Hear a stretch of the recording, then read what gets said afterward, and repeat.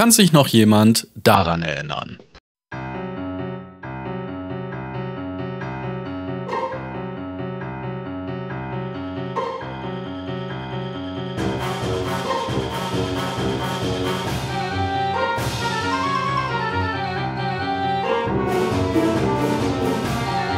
Ende letzten Jahres gab es wahrscheinlich einen der größten Skandale und gleichzeitig auch eine der größten Lachnummern, die es im Bereich Gaming jemals gab. Es handelt sich dabei um den Release von The Day Before. Im Vorfeld riesengroß gehypt von den Entwicklern, die dabei schon in jedes Fettnäpfchen getreten sind, das möglich war, mit Verschiebungen und tausend anderen Sachen. Ihr kennt die Story wahrscheinlich. Und dann kam nach diesen tausend Verschiebungen dann im Dezember 2023 der Release und das, was uns da erwartet hat, war mehr als schockierend und wahrscheinlich auch der größte Scam der Videospielgeschichte. Denn das, was uns versprochen wurde, nämlich ein riesiges Open-World-Spiel, in dem man quasi alle Freiheiten hat, mit Zombies, mit Loot und eigentlich mit allem, das war es dann am Ende überhaupt nicht gewesen. Und das konnte man im Vorfeld auch schon ganz klar merken, denn in den Trailern, die man gesehen hat, sah das Ganze irgendwie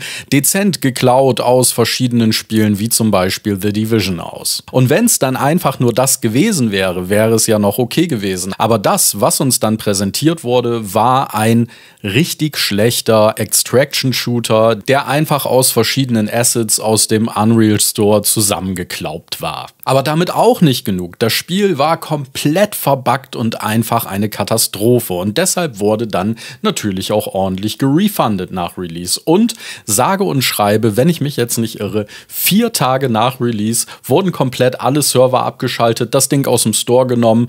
Äh, diese ganze Aktion ist nach wie vor einzigartig. Steam hat erlaubt, auch nach den obligatorischen zwei Stunden das Ding da noch zu refunden und so weiter und so fort. Und der Entwickler Fantastic Fantastic hat sich danach einfach aus dem Staub gemacht.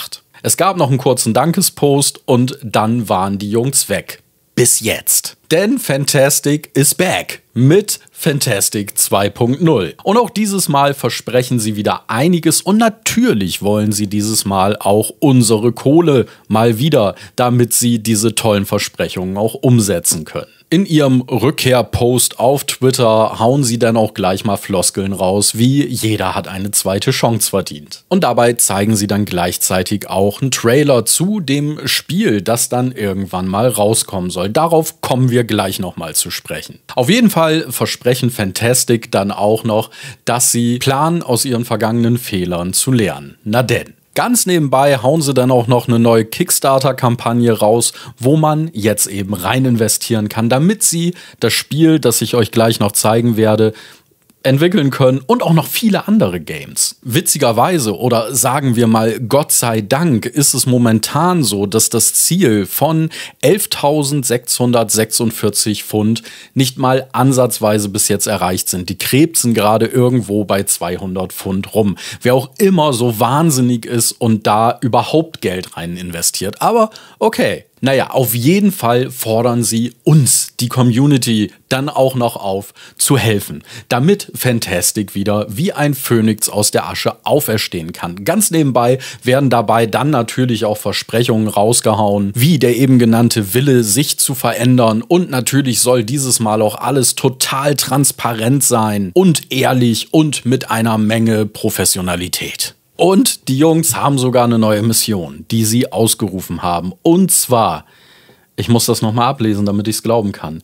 Ihre Mission ist es, Spiele zu erschaffen, die für Dekaden geliebt werden. Und damit ist der Wahnsinn noch nicht vorbei. Denn wenn ihr doch investieren wollt, dann überlegt euch auf jeden Fall ein bisschen mehr Kohle in die Hand zu nehmen, weil dann wird es unfassbare Dinge für euch geben. Wenn ihr nämlich bereit seid, 12.000 Dollar zu spenden, dann bekommt ihr ein unvergessliches Dinner mit den Gründern von Fantastic, wenn das mal nicht ein Anreiz ist. Ich persönlich hätte Angst, dass die mich bei dem Dinner vielleicht sogar essen wollen.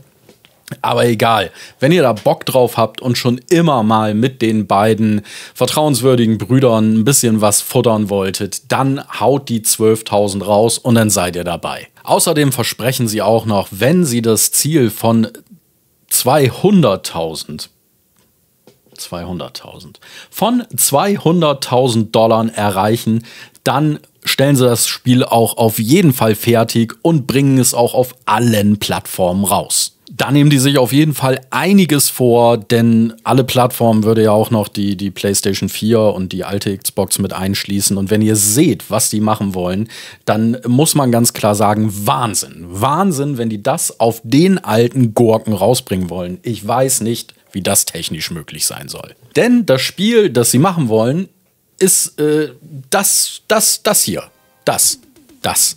Escape Factory soll das heißen. Und es sieht ganz dezent aus, wie Spiele zum Beispiel wie Fall Guys etc., die ja durchaus auch einen Hype durchlebt haben. Von daher haben sich die findigen Boys bei Fantastic wahrscheinlich gedacht, cool, das ist ja gerade irgendwie das Hype-Genre, dann machen wir das einfach auch mal. Und das, was wir nämlich in der Vergangenheit neben Lügen und Betrügen gut konnten, waren mittelmäßig bis schlechte Handy-Games.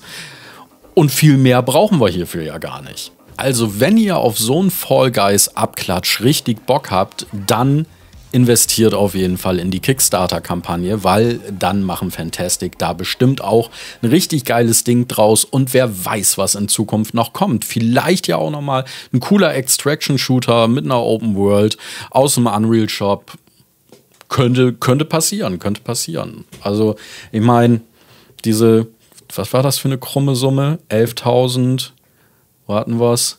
11.646 Pfund, die kann man doch erreichen. Und die hat man ganz schnell erreicht, wenn ihr mit den beiden mal Abendessen wollt und die 12.000 bezahlt. Und wenn wir dann noch das unglaubliche Ziel, das gut erreichbare Ziel von äh, 200.000 erreichen, dann gibt es das Ganze auch noch für alle Plattformen. Auf jeden Fall, das Spiel wird eben so beschrieben, dass man eben als ähm, harter Arbeiter da irgendwie aus dieser tödlichen Fabrik entkommen soll wird natürlich kein leichter Weg ähm, hinaus. Unterwegs gibt es dann noch viele mysteriöse und großartige Geschichten, die einen aufhalten wollen.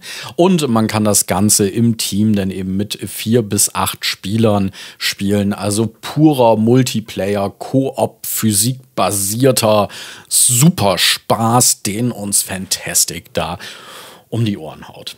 So, das war mir tatsächlich ein Video wert, weil das ist der größte Wahnsinn nach dem Wahnsinn von The Day Before, äh, den ich in letzter Zeit gehört habe, dass die echt die Eier haben und es jetzt normal versuchen und nochmal den Leuten Geld aus den äh, Taschen ziehen wollen, das finde ich äh, nahezu unglaublich.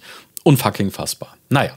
Wenn ihr da Bock drauf habt, wisst ihr Bescheid, was ihr tun müsst. Wenn ihr mal geil, wahrscheinlich, wenn ihr die 12.000 spendet und mit den beiden Jungs Abendessen wollt, müsst ihr das Abendessen aber wahrscheinlich auch noch bezahlen. Also Obacht, da auf jeden Fall noch ein Huni irgendwie beiseite legen, damit das noch passt. Ja. Was sagt ihr dazu? Schreibt mir das doch einfach mal in die Kommentare und ihr kennt den Rest. Ansonsten gilt wie immer, kauft ein bisschen Holy mit meinem Link dann äh, supportet ihr mich und könnt vielleicht auch mal mit mir Abendessen. Und ansonsten Kanal abonnieren, damit ihr auch in Zukunft alles zu Fantastic präsentiert bekommt. In diesem Sinne, bis zum nächsten Mal. Reingehauen.